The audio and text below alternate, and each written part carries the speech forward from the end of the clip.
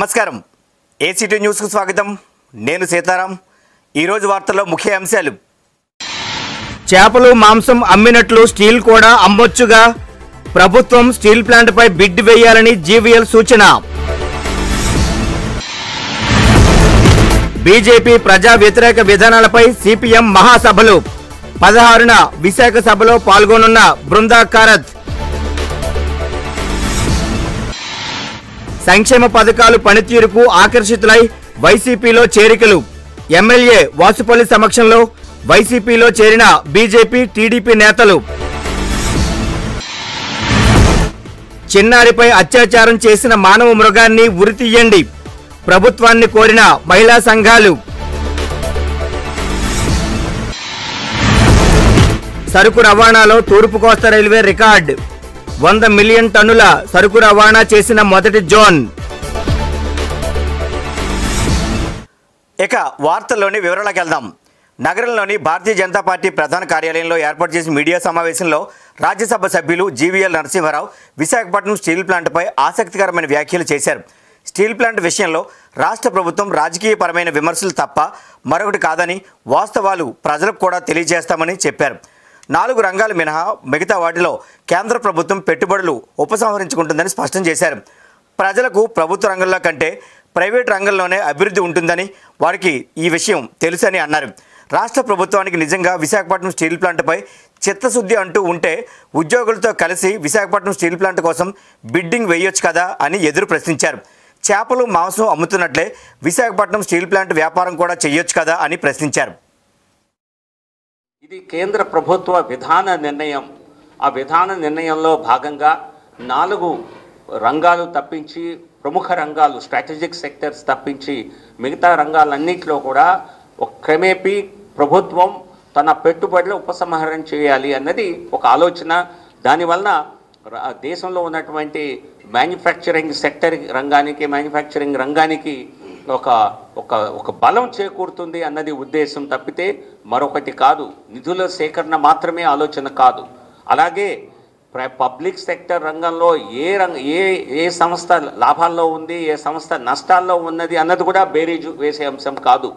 ఇది కేవలం మరి ఒక విధాన నిర్ణయం కనుక అది ప్రణాళిక ప్రకారం జరుగుతుంది. ఖచ్చితంగా ఈ రాష్ట్రానికి ఈ ప్రాంతానికి ఒక వెన్నెముకలా ఉన్నటువంటి ఈ విశాఖపట్నం స్టీల్ ప్లాంట్ మరి ఎల్లప్పటికీ ఒక ఒక స్ట్రెంగ్త్గా ఇక్కడ ఉండాలని ఇంకా ఇంకా పెరగాలని గ్రో అవ్వాలని ఉద్యోగుల మరి వారి ఉపాధికి రక్షణ ఉండాలని ఈ అంశాలపై ఖచ్చితంగా మాకు అవకాశం ఉన్నప్పుడల్లా మేము కలిసి మాట్లాడుతూనే ఉన్నాము.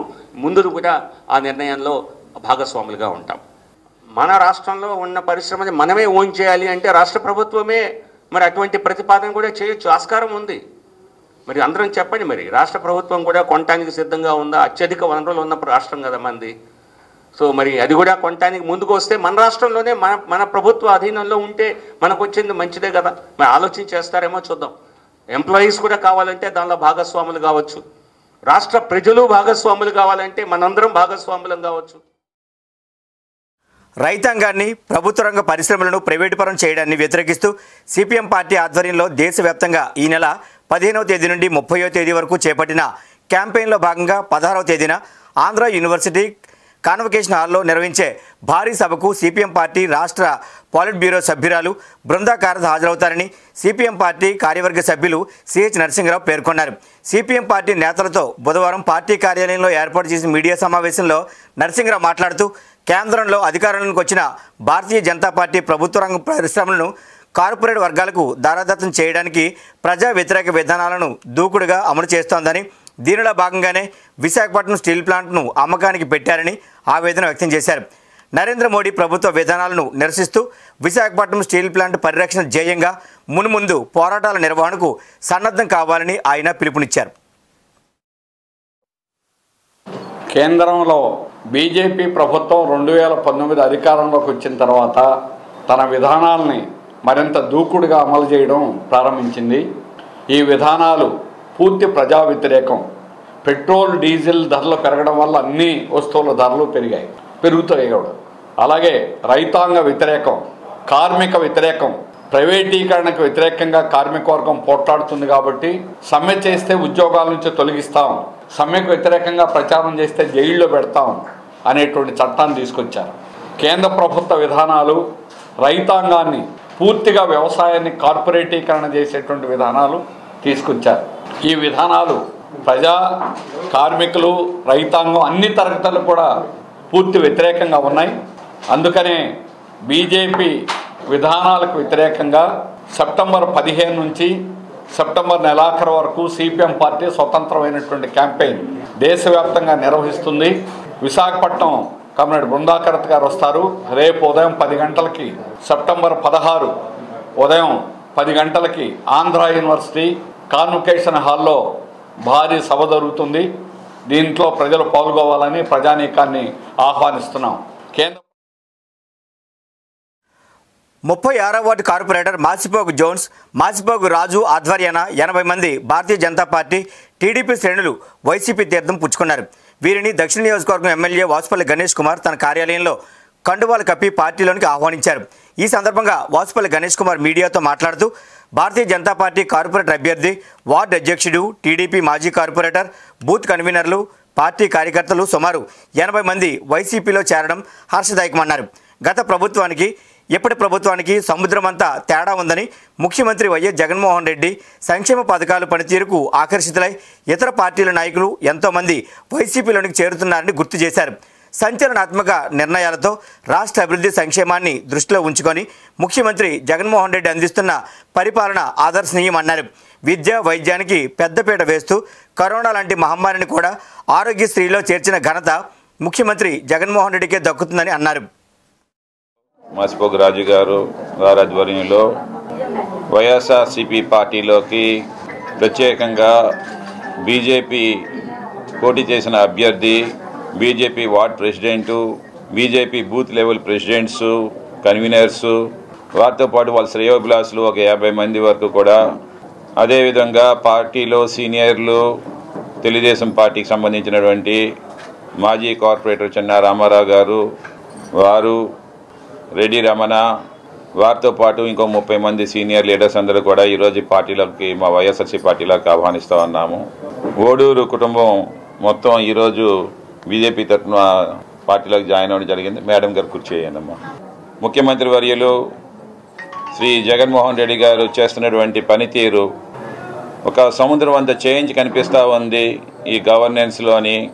గత పాలకలకి పాలకులకి ఈ రోజు ఇప్పుడుండే పాలకులకి రెండున్నర సంవత్సరం కాలంలో అనేక మార్పులు చేర్పులు తీసుకుని వచ్చి అనేక సంక్షేమ పథకాలనేమో ముందుకి తీసుకుని వెళ్తున్నటువంటి ఒక మహానాయకుడిని ఈరోజు చూసి వారికి ఆకర్షితులై వారి యొక్క పనితీరుకి ఆకర్షితులై ఆ పార్టీకి అండగా ఉందాము ముందుకు సాగుదాము అని చెప్పేసి వీళ్ళందరూ కూడా భావించి ఈరోజు పార్టీలో చేరుతూ ఉన్నారు.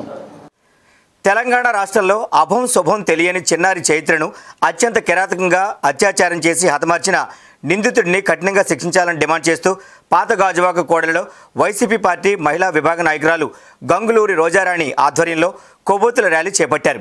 ఈ ర్యాలీలో నియోజకవర్గం incharge Tippala Devan Reddy GVMC standing committee సభ్యులు తిప్పల వంశీరెడ్డిలు పాల్గొని మాట్లాడారు. రోజు రోజుకు మనుషుల కన్నా మృగాల కన్నా దారుణంగా ప్రవర్తిస్తున్నారని ఆవేదన వ్యక్తం చేశారు. ఎన్ని చట్టాలు తీసుకొచ్చినా మహిళలకు రక్షణ లేకుండా పోయిందని చైత్రను హతమార్చిన దొండగడిని కఠినంగా శిక్షించి ఇటువంటి సంఘటనలు మళ్ళీ పునరావృతం కాకుండా ప్రభుత్వాలు కఠినమైన చర్యలు తీసుకోవాలని విజ్ఞప్తి చేశారు. అదేవిధంగా తప్పుడు పని చేసినటువంటి వ్యక్తికి మరి తెలంగాణ గవర్నమెంట్ ఎన్కౌంటర్ చేయాలని ఎందుకంటే చిన్నపిల్లలని అలాగే పెద్దవాళ్ళని ఆడవాళ్ళని వీళ్ళు కొంతమంది మృగాల్లాగా బిహేవ్ చేసి వాళ్ళు చేస్తున్నటువంటి చర్యలకు మన ట్యాంక్ మనం మనం లాస్ట్ టైం చూసాం. ఏదైతే మరి దిశాని అమ్మాయిని ఏ విధంగా మనకున్నటువంటి తెలంగాణ గవర్నమెంట్ ఎన్కౌంటర్ వాళ్ళు ఐజెపి కుర్రలను ఏ విధంగా చేసిందో అదే విధంగా దీన్ని కూడా చేయాలి. లేకపోతే ఇమీడియట్గా ఉరిశిక్ష త్వరగా ఉరిశిక్ష పడే విధంగా మరి చర్య తీసుకోవాలి. ఎందుకంటే భయం ఉండాలి దీని మీద.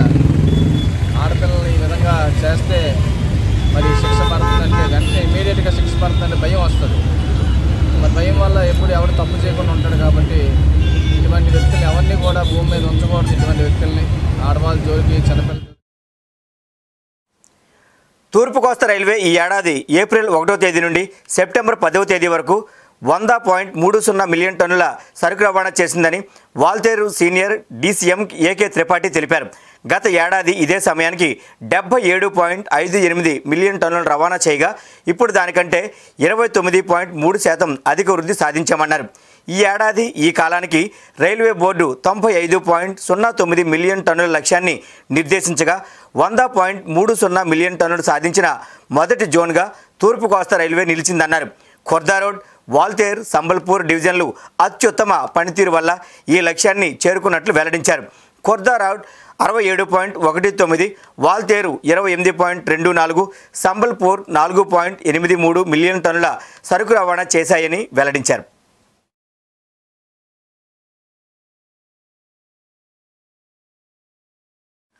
రాజ్యసభ సభ్యుడు జీవీఎల్ నరసింహారావు విశాఖ పర్యటనలో భాగంగా విశాఖపట్నం రైల్వే స్టేషన్ సందర్శించి సౌకర్యాలపై సంతృప్తిని వ్యక్తం చేశారు. భారతీయ జనతా పార్టీ నాయకులతో కలిసి రైల్వే స్టేషన్లో ప్రయాణికులకు అందిస్తున్న సౌకర్యాల గురించి ఆరా తీశారు. అనంతరం మీడియాతో మాట్లాడారు. దేశంలోనే క్లీన్ రైల్వే స్టేషన్గా విశాఖకు మంచి పేరుందని విశాఖపట్నం ఎయిర్పోర్ట్ తరహాలో ప్రయాణికులకు వెయిటేజ్ అలాగే వెయిటింగ్ లాంజ్ కూడా ఏర్పాటు ఉంటుందని చెప్పారు. నాయకులు అధికారులు ప్రయాణికులతో మాట్లాడి ఇంకా ఏమైనా సమస్యలు ఉన్నట్లయితే ప్రభుత్వం దృష్టికి తీసుకెళ్తామని చెప్పారు.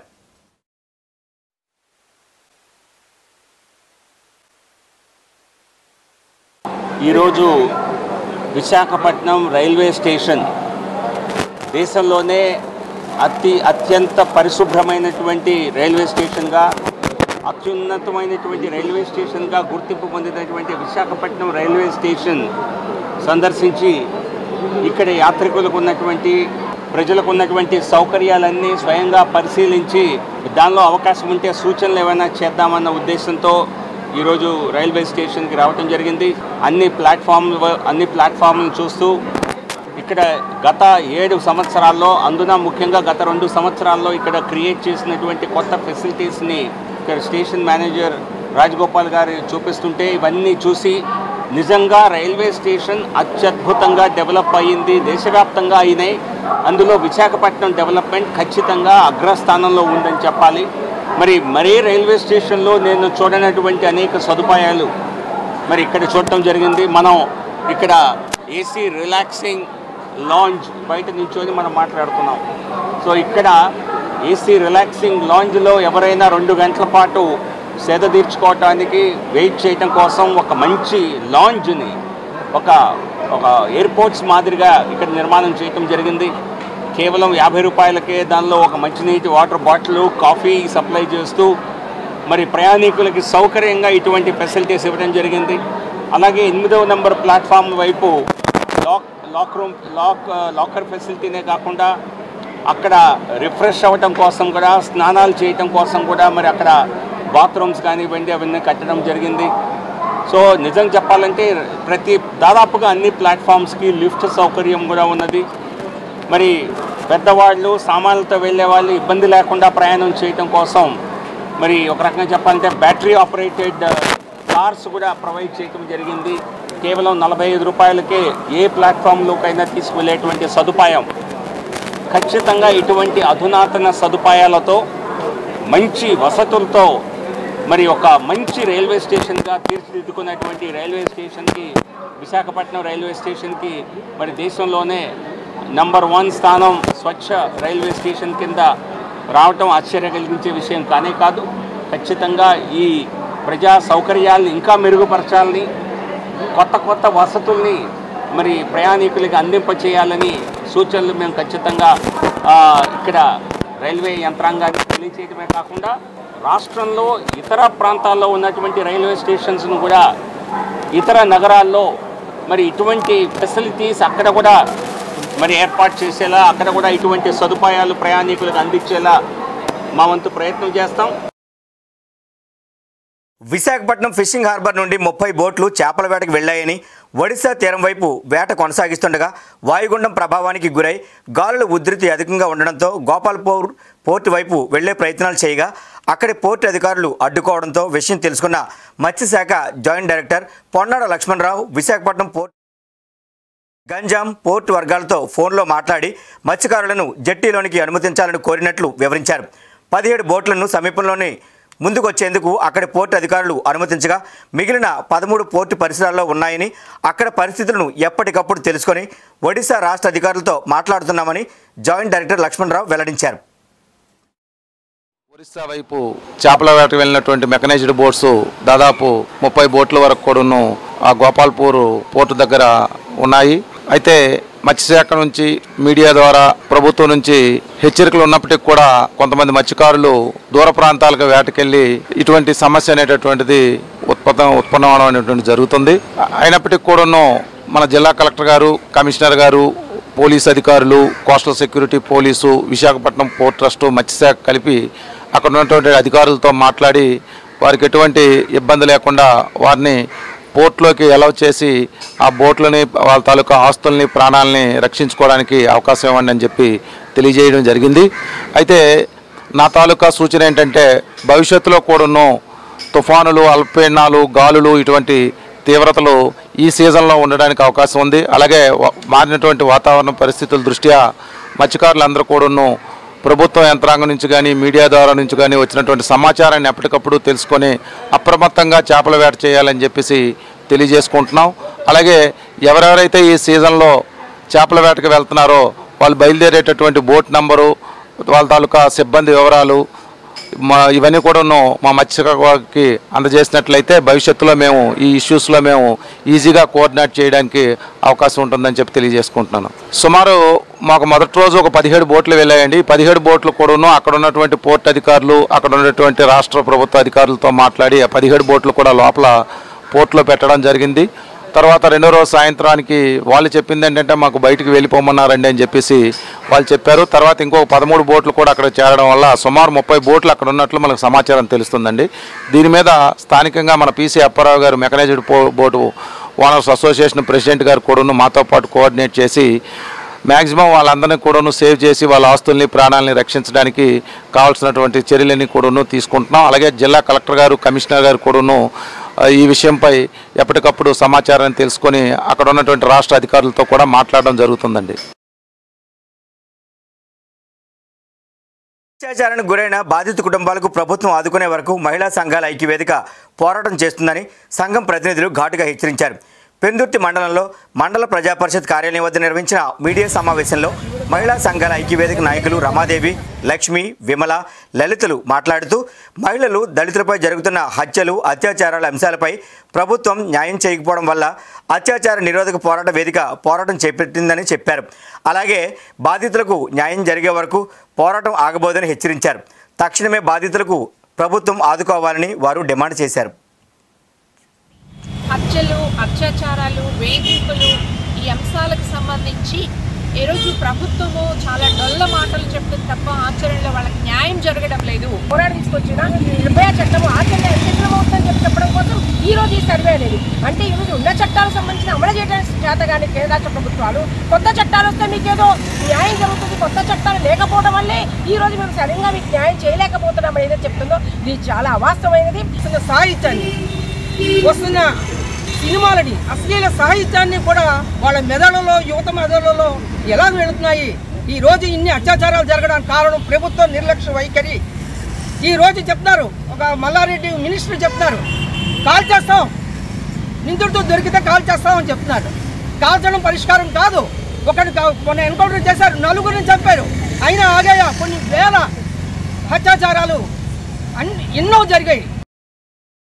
ఈ నెల పద్దెనిమిదవ తేదీన జరగనున్న కౌన్సిల్ సమావేశంలో ప్రజల సమస్యలను ఎజెండాగా ఉండాలని నగర మేయర్ కమిషనర్లను జీవీఎంసీ డెబ్బై ఎనిమిదో ward CPM party corporator Gangaram కోరారు. ఈ సమావేశం వైసీపీ ప్రజా సమస్యలపై చర్చించడానికి కాదని ఆయన విమర్శించారు. తొంభై ఎనిమిది వార్డుల్లోని ప్రజల సమస్యలను తీర్చేలా ఒక్క ప్రతిపాదన కూడా లేదని మనుషుల అవసరాలు తీర్చకుండా కుక్కల కోసం పార్కులు కడతారా అని ప్రశ్నించారు. ఈ ప్రతిపాదనలన్నీ కాంట్రాక్టర్లకు లబ్ధి చేకూర్చడానికి తప్ప ప్రజలకు ఎటువంటి ఉపయోగం లేదని విమర్శించారు. వాళ్ళు ఆదేశించినటువంటి కొన్ని ఎజెండాలను పెట్టి వాళ్ళ స్వప్రయోజనాల్ని ఆశించి ఈ కౌన్సిల్ అనేటువంటి నిర్వహిస్తూ ఉన్నారు. గత నాలుగు నెలల కౌన్సిల్ తీరును చూస్తే ఈ విశాఖ నగరంలో ఉన్నటువంటి తొంభై ఎనిమిది వార్డుల్లో ఆ రోడ్లు బాగు చేయడానికి కానీ లేదా ఇతర ప్రజా సమస్యలు రకరకాలైనటువంటి ఎదుర్కొనేటటువంటి దాని మీద బడ్జెట్ నిధులు కేటాయించి వాటిని ఖర్చు చేసి ప్రజల ఆ సమస్యల నుంచి ముక్తి చేసేటటువంటిది ఏ ఒక్క పని కూడా చేపట్టకపోవటం అనేటువంటి చాలా ఆందోళన కలిగిస్తూ ఉన్నది. రేపు పద్దెనిమిదవ తారీఖు జరిగేటటువంటి కౌన్సిల్ కూడా కుక్కలకి థీమ్ పార్క్ పెడతారంట. మనుషులకి రోడ్లు లేవు. మనుషులకి మున్సిపల్ కార్పొరేషన్ హాస్పిటల్స్లో మందులు లేవు. డాక్టర్లు లేరు. స్కూల్స్లో సరైనటువంటి ఫెసిలిటీస్ ఇవన్నీ కూడా లేవు. రెండోది అవినీతి చర్యలు కూడా పెద్ద ఎత్తున పెరిగిపోయినాయి. ఈరోజు షాపులన్నీ కూడా ఓ పెద్ద అవినీతి కేంద్రంగా మారిపోయింది. కళ్యాణ మండపాలు షాపులు బిల్డింగులు గత పది ఏళ్ళ నుంచి ఇష్టారాజ్యంగా దోచుకుంటున్నారు. అందువల్ల వంద గజాల లోపు ఉండేటటువంటి పేదవాళ్ళందరికీ కూడా ఎటువంటి ప్లాన్ లేకుండానే వాళ్ళని ఇల్లు కట్టుకునేటటువంటి పని అనేటువంటిది అనుమతి ఇవ్వాలనేటువంటిది కూడా మేము జీవీఎంసీని డిమాండ్ చేస్తున్నాం. భవిష్యత్తులో దాని మీద కూడా మేము పోరాటం చేస్తామనేటువంటిది మేము తెలియజేస్తూ ఉన్నాం. భారతీయ జనతా పార్టీ నగర పార్టీ కార్యాలయంలో నిర్వహించిన సమావేశంలో రాజ్యసభ సభ్యులు జీవీఎల్ నరసింహారావు సమక్షంలో విశాఖపట్నం స్టీల్ ప్లాంట్ హెచ్ఆర్ విభాగంలో ముప్పై ఏళ్ళుగా సేవలు అందించిన మధుసూదనరావు ఉద్యోగానికి రాజీనామా చేసి బీజేపీ పార్టీ కండువా కప్పుకొని పార్టీలో చేరారు. ఆయనను ఎమ్మెల్సీ పివి కుమార్ రాజు పార్టీలోనికి ఆహ్వానించారు. మధుసూదన్ రావు ఈ సందర్భంగా మాట్లాడుతూ ప్రధానమంత్రి నరేంద్ర మోడీ సంక్షేమ పథకాల ద్వారా దేశాన్ని ప్రగతి పదంలో నడిపిస్తున్న తీరును చూసి దేశానికి రాష్ట్రానికి మంచి జరుగుతుందనే ఉద్దేశంతో భారతీయ జనతా పార్టీలో చేరానని వెల్లడించారు. స్టీల్ ప్లాంట్లో హెచ్ఆర్గా హెచ్ఆర్ డిపార్ట్మెంట్లో ముప్పై ఏళ్ళు స- సర్వీస్ చేశాను. గత ఎలక్షన్ టైంలో రిజైన్ చేయవలసి వచ్చింది. ఎలక్షన్ దీని గురించి అయితే ఈ మన భారతీయ జనతా పార్టీ మన మోడీ గారు చేసే అమలు జరిపే వేరియస్ యాక్టివిటీస్ uh, కానివ్వండి uh, వెల్ఫేర్ స్కీమ్స్ uh, కానివ్వండి దేశాన్ని నడిపించే ప్రగతి ప్రగతి పథకాలు తీసుకెళ్ళే పద్ధతి నాకు చాలా నచ్చింది. దీనివల్ల మన అందరికి కూడా మంచి పురోగతి ఉంటుందనే ఉద్దేశంతో నేను ఈ పార్టీలో చేరడం జరిగింది. నా నాకు అండ్ పార్టీకి మన ఆంధ్రప్రదేశ్కి అలాగే దేశానికి మంచి ప్రగతి ఉంటుందనే ఉద్దేశంతో నేను జాయిన్ అవుతున్నాను. మీ అందరికి కూడా నన్ను ఆహ్వానించినందుకు సాధనంగా ఆహ్వానించినందుకు మన నరసింహ గారికి మాధవ్ గారికి అందరికీ పేరు పేరున ధన్యవాదాలు తెలుపు తెలియజేసుకుంటున్నాను. Thank you Bharatiya Janata party Rajya Sabha సభ్యులు జీవీఎల్ నరసింహారావు విశాఖపట్నం రైల్వే జోన్పై చేసిన వ్యాఖ్యలు పచ్చి అబద్ధమని సిపిఎం పార్టీ రాష్ట్ర కార్యవర్గ సభ్యులు సిహెచ్ నరసింహారావు అభిప్రాయపడ్డారు. సాక్షాత్తు కేంద్ర రైల్వే మంత్రి జోన్ల ప్రస్తావన లేవని చెబుతుంటే విశాఖపట్నం కేంద్రంగా రైల్వే జోన్ ప్రయత్నాలు జరుగుతున్నాయని రాజ్యసభ సభ్యుడు జీవీఎల్ నరసింహారావు చెప్పడం బూటకమన్నారు. కేంద్రం విశాఖపట్నం స్టీల్ ప్లాంట్ బిడ్డింగ్కు పిలిస్తే ఒక్కరు కూడా పాల్గొనలేదని స్టీల్ ప్లాంట్ ప్రైవేటీకరణ చేయడం ఎవరి తరం కాదని బీజేపీ విధానాలు మార్చుకోకుంటే ఆంధ్రప్రదేశ్లో అడ్రస్ లేకుండా పోతుందని ఘాటుగా హెచ్చరించారు. రాయగఢలో కలిపేశారు. ఆ రకంగా రైల్వే కనెక్టివిటీ అనేటువంటి దాన్ని తీవ్రంగా దెబ్బతీశారు. అన్ని రకాల రైల్వే పరంగా మనకు తీవ్రమైనటువంటి నష్టం జరిగింది. కానీ ఈరోజు దాని గురించి ప్రయత్నం చేస్తామని చెప్పడం జీవీఎల్ నరసింహారావు చెప్పిన స్టేట్మెంట్ పచ్చి అబద్ధం. రెండోది విశాఖ స్టీల్ ప్లాంట్ను ఆరునూరైనా ప్రైవేట్ చేస్తారనేటువంటి మాట పదే పదే మాట్లాడుతూ ఉన్నారు. ఇంతవరకు లీగల్ అడ్వైజర్గాను ట్రాన్సాక్షన్ బదిలీ ఆస్తులను బదిలీ చేసేదానికి అడ్వైజర్లుగాను వాల్యుయేషన్ అనే దాన్ని తయారు చేసేదానికి బిడ్డింగ్ పిలిచారు ఒక్కరూ రాలా. అందుకని అసలు వాల్యుయేషన్ కడిగే ఆరు మాసాలైనా కూడా దాన్ని నిర్ణయించేటువంటి స్థితి లేని వీరికి ఒక్క అడుగు కూడా ముందుకెళ్ళలేరు ఏ విధంగా కూడా స్టీల్ ప్లాంట్ ప్రైవేటీకరణ చేయడం అనేది వాళ్ళ తరం కాదు. ఖచ్చితంగా అడ్డుకుంటాం. ఎవడు ఎవడైనా బిడ్డింగ్కి వచ్చినప్పటికి కూడా విశాఖ స్టీల్ ప్లాంట్కి వచ్చి ఇక్కడ స్టీల్ ప్లాంట్ నడిపేటువంటి పరిస్థితి రాకుండా ఖచ్చితంగా అడ్డుకోగలం అనేటువంటి విశ్వాసం ఉంది. అందుకనే భయపడే ఎవడు కూడా ఈరోజు బిడ్డింగ్కే మామూలు ట్రాన్సాక్షన్ అడ్వైజర్లకే ఈరోజు బిడ్డింగ్కి రానటువంటి పరిస్థితి ఇప్పటికైనా జీవీ నరసింహారావు అర్థం చేసుకోవాలి. ప్రజలు వ్యతిరేకంగా ఉన్నారు. ఆంధ్రప్రదేశ్ యావత్తు కూడా అసెంబ్లీ తీర్మానం చేసింది. రాష్ట్ర ప్రజలు యావత్తు కూడా స్టీల్ ప్లాంట్ ప్రైవేటీకరణకు వ్యతిరేకంగా ఉన్నారు. ఇప్పటికైనా మీ నిర్ణయం మార్చుకోండి. మార్చుకోకపోతే ఆంధ్రప్రదేశ్లోనే బీజేపీ అడ్రస్ లేకుండా పోయేటువంటి పరిస్థితి ఏర్పడుతుందని హెచ్చరిస్తున్నాం. నగరంలో జరిగిన పలు చోరీ కేసుల్లో పదమూడు మందిని అదుపులోనికి తీసుకొని సుమారు మూడు లక్షల డెబ్బై తొమ్మిది వేల రూపాయల విలువ గల చోరీ సొత్తును క్రైమ్ పోలీసులు స్వాధీనపరుచుకున్నారు. ఈ సందర్భంగా రేట్లో ఏర్పాటు చేసిన మీడియా సమావేశంలో ఆయా కేసుల వివరాలను క్రైమ్ డీసీపీ సురేష్ బాబు వెల్లడించారు.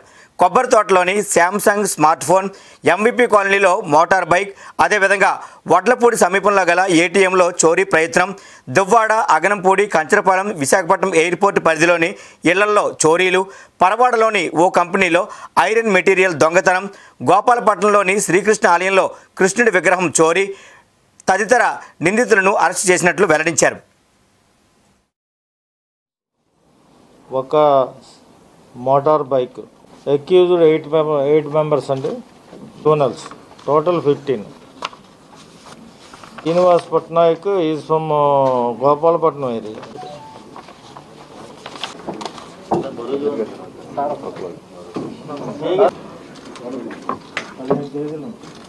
mobile phone మళ్ళీ క్యాష్ ఒక ట్వంటీ ఫైవ్ థౌజండ్ పోయినట్లుగా రిపోర్ట్ ఇవ్వడం టూ థౌజండ్ ఫైవ్ హండ్రెడ్ పోయినట్లుగా రిపోర్ట్ ఇవ్వడం జరిగింది.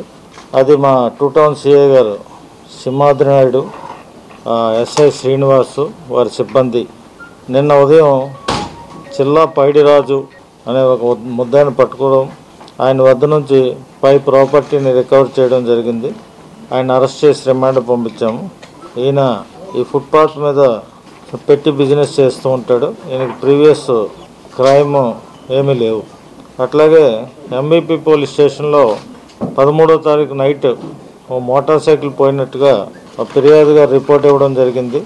ఇందులో రామారావు సిఐ గారు వారి ఎస్ఐ విశ్వనాథం వారి సిబ్బంది నిన్న ముద్దాయి బొడిరెడ్ల మహేష్ అనే అతన్ని అరెస్ట్ చేయడం జరిగింది. ఆయన వద్ద నుంచి మోటార్ సైకిల్ రికవర్ చేశారు.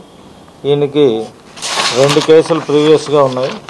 ఆయన కూడా రిమాండ్కి పంపించడం జరిగింది. విశాఖపట్నం స్టీల్ ప్లాంట్ పరిరక్షణ పోరాట కమిటీ ఆధ్వర్యంలో స్టీల్ ప్లాంట్ ముఖద్వారం వద్ద చేపట్టిన రిలే నిరహార దీక్షలు రెండు వందల పదహారు రోజుకి చేరుకున్నాయి. ఈ దీక్ష శిబిరాన్ని ఉద్దేశించి డిఐటియు జాతీయ ప్రధాన కార్యదర్శి డిబి లోక్ మాట్లాడుతూ కేంద్ర ప్రభుత్వం భారత రాజ్యాంగం కల్పించిన రిజర్వేషన్లను ఎత్తివేసే కార్యక్రమంలో భాగంగా ప్రభుత్వ రంగ సంస్థలను నిర్వీర్యం చేస్తోందని విమర్శించారు. రిజర్వేషన్లు అమలు చేయడం ద్వారా అనేక మంది ప్రజల జీవన స్థితిగతులు మారిపోయాయని ఆయన వివరించారు. జీవన స్థితిగతులను మార్చే ప్రభుత్వ రంగాన్ని కాపాడుకోవడం మన అందరి కర్తవ్యంగా భావించాలని పిలుపునిచ్చారు. విశాఖ ఉద్యమానికి అండగా నిలుస్తామని చెప్పారు. కాపాడుకుందాం.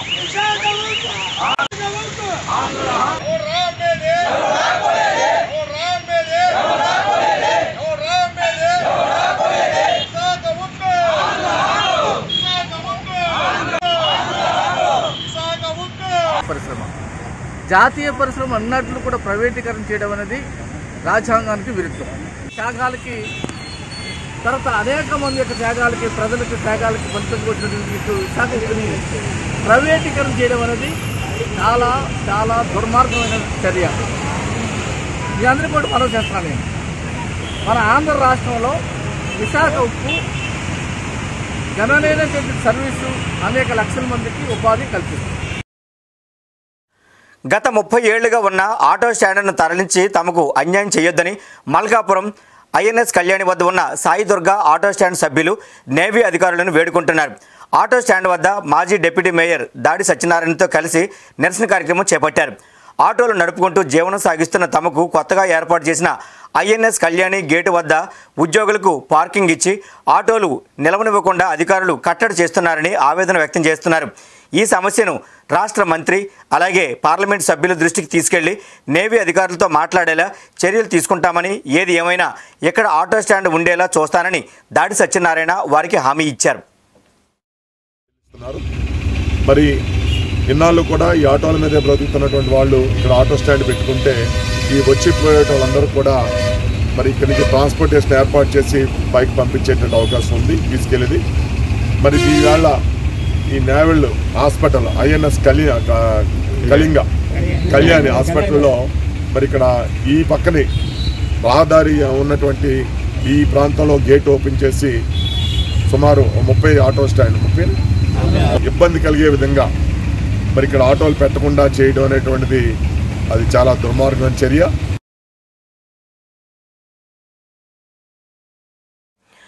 ఏసీటీ న్యూస్ ముగించే ముందు ముఖ్య అంశాలు మరోసారి. చేపలు మాంసం అమ్మినట్లు స్టీల్ కూడా అమ్మొచ్చుగా. ప్రభుత్వం స్టీల్ ప్లాంట్పై బిడ్ వేయాలని జీవీఎల్ సూచన. బీజేపీ ప్రజా వ్యతిరేక విధానాలపై సిపిఎం మహాసభలు. పదహారున విశాఖ సభలో పాల్గొనున్న బృందా కారత్ సంక్షేమ పథకాలు పనితీరుకు ఆకర్షితులై వైసీపీలో చేరికలు. ఎమ్మెల్యే వాసుపల్లి సమక్షంలో వైసీపీలో చేరిన బీజేపీ టీడీపీ నేతలు. చిన్నారిపై అత్యాచారం చేసిన మానవ మృగాన్ని ఉరితీయండి ప్రభుత్వాన్ని కోరిన మహిళా సంఘాలు. సరుకు రవాణాలో తూర్పు కోస్తా రైల్వే రికార్డ్. వంద మిలియన్ టన్నుల సరుకు రవాణా చేసిన మొదటి జోన్. ఏసీటీ న్యూస్ ఇంతటితో సమాప్తం. నమస్కారం